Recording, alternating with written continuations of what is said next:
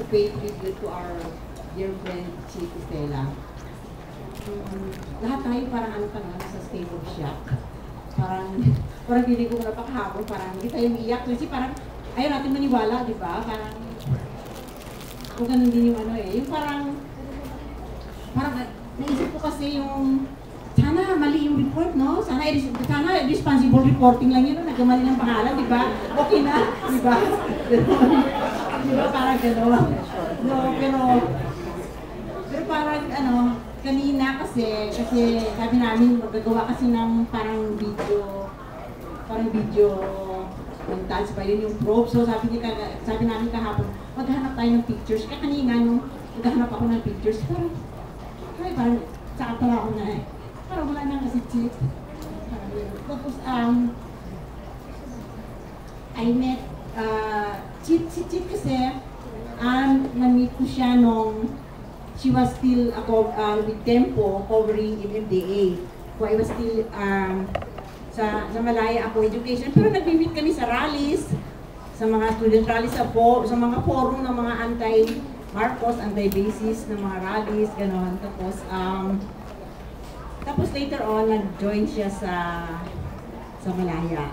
Before that, si Chip, um, uh, upon graduation, I think she joined Evening Post. After, after Evening Post, uh, Tempo, tapos Malaya. Uh, after Malaya, uh, she joined briefly sa uh, PDI sa desk. And after sa PDI, when she joined Manila Times, yun na nga yung, yung pinaka-memorable na sino sila ni Erap, di ba? Yung, an, ano ba yung word na, kasi si Chip kasi mag, mag, ano yan eh, magaling sa, ano, yung unwitting, unwitting ninong dun sa INPSA. Tapos, ah, tapos yung date from uh, Pinoy Times, at saka later on she joined um, uh, the Philippine Journalism Review, uh, published by the Cen- Center for Media, CNFR, Freedom and Responsibility. Tapos nung, nung, nung 2003 years ago, means 2008, uh, March, um, in 2005, kasi after Manila Times, uh, Chief decided to um, teach. So, uh, uh, balik, balik siya sa UP Masco. And then, uh, noong 2008, we decided to form uh, Vera Files. Um, we put out uh, stories and then uh, distribute, uh, mostly, hindi naman, ano, hindi, we are not, we don't limit ourselves to investigative reporting. Tapos, uh, ano, mga in-depth stories. Tapos, um, tapos we send it out to everybody.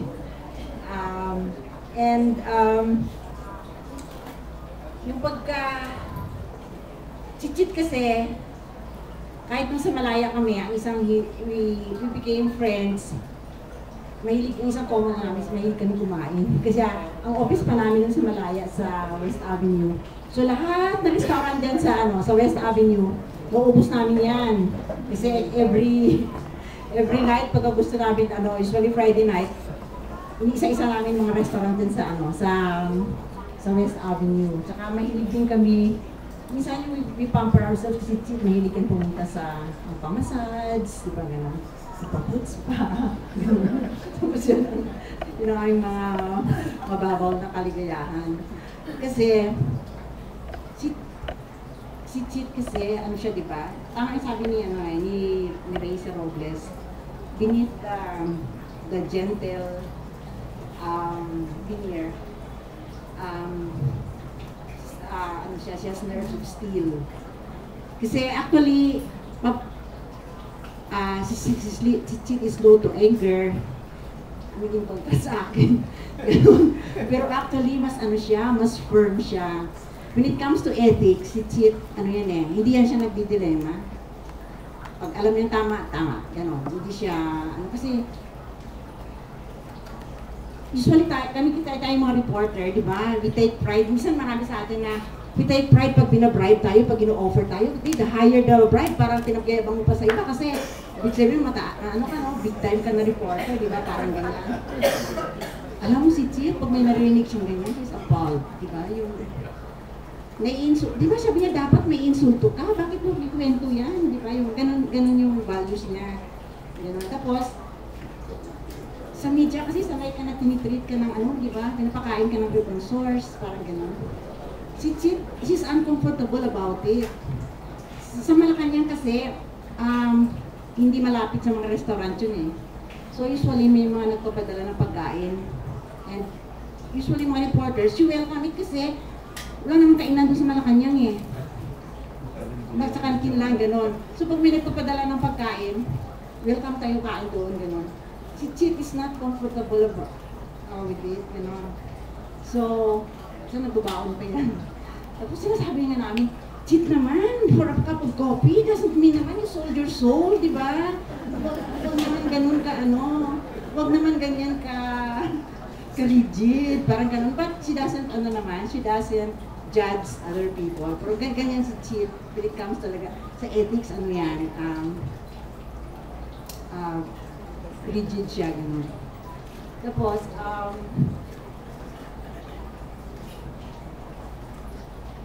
maraming ano, ka, um, kanina, tsaka uh, si Chit pala, nung nag-start na kami sa ano, nung sa Vera Falls um, hindi siya basta, tama nga hindi nga siya basta-basta nagagalit kasi ngayon, since nag-join siya sa UP, nag-bumalik siya sa UP, she loves she loves mentoring, ganun, yung sharing yung experience niya. Kaya yung may isang project kami kasi na we train CSOs, uh, civil society organizers, uh, to learn how to do investigative stories. And syempre, hindi naman sila writers kasi ito. Mahirap mag-meet ng deadline. Diyos ko, si Chit, ako kami nagagalit na kami kasi siyempre may may ano ka rin, di ba? May obligasyon ka rin dun sa iyong funders, di ba? Ganon. Hindi nag-deliver yung mga ano. Kaya si Chit, mabait pa rin yung sulat. Parang ganon. Di ba? Ganon, pero ah, kaya talaga, talaga man siya. Tapos, um, maraming, ah, may, may natanggap akong sulat ka, ka, sumulat pala si Buddy Gomez. Si Buddy Gomez was the press secretary at that time during the the Cory administration. So, tanggap ko yung sulat ni ni, ni, ni, Buddy kanina. At niya, sabi niya, ah, sabi niya, ano daw, pinawag ko yata kay Roland na to.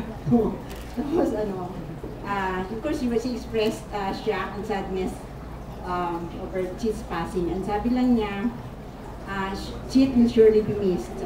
I remember her best as a very sympathetic and understanding to me, apart from being a true professional in her craft when I worked in your ganun.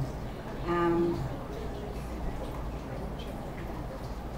yung incident about the, yung sa ano, yung sa, yung ano, we always, eh, lahat na reports na nabasa ko, it described the incident as senseless, di ba, yung death ni, ni Chit, parang, nga, kasi parang, pag reporter ka, di ba, mas glamorous yung, mas ganun yung namatay ka sa gera, namatay ka sa conflict, di ba, kasi parang, in, the, in line of work, parang, yung aksidente ni Chit, parang, parang senseless, di ba, kaya lang na, na, nakita ko sa mga reports, parang everybody now is talking about um, doing um, probe into yung road management, yung lack of discipline, parang gano'n si Rex Reyes Robles was talking to me that she was South China Morning Post agreed to for her to, run, to do a story on yung yung problem natin about road management, parang gano'n. So, I was thinking, tsaka nakita ko nga yung story sa TV, parang they would like to go deeper into the problem of uh, undisciplined um, uh, drivers at saka irresponsible uh,